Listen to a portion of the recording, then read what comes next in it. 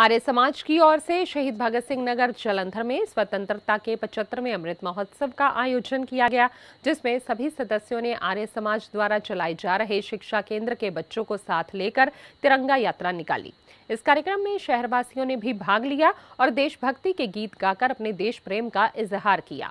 गौरतलब रहे कि देश के प्रधानमंत्री नरेंद्र मोदी ने स्वतंत्रता दिवस को समर्पित तिरंगा यात्रा का ऐलान किया था कि हर घर और दफ्तर में तिरंगा फहराया जाएगा।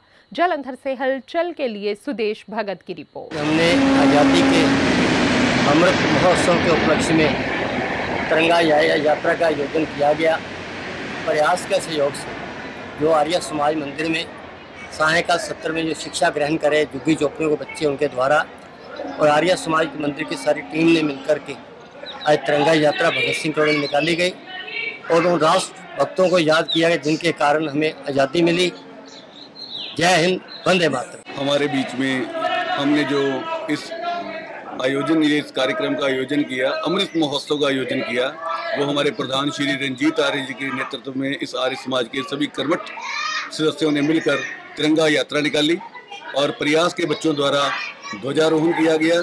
छोटे छोटे ध्वज लेकर बच्चों ने इस नगर की परिक्रमा की, जिससे ये प्रयासरत हो जाए कि हम सब देशवासी अपने घर घर झंडा, हर घर झंडा लगाकर हम अपने देश का मान, हम अपने देश को मान दे सकें और उसका सम्मान प्राप्त कर सकें।